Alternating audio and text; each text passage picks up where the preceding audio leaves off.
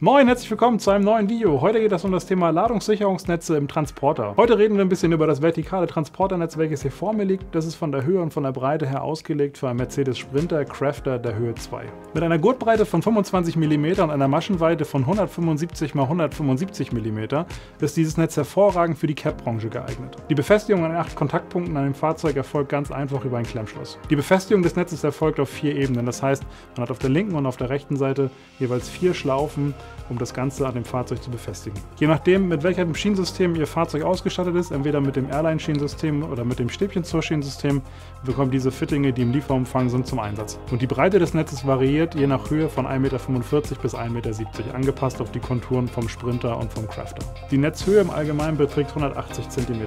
Der LC-Wert an den Befestigungspunkten beträgt 200 DRN und das gesamte Netz 400 DRN. Alle detaillierten Informationen zu dem Netz verlinken wir wie immer unter dem Video. Wir hoffen, es hat euch gefallen. Bis zum nächsten Mal. Ciao. Bye.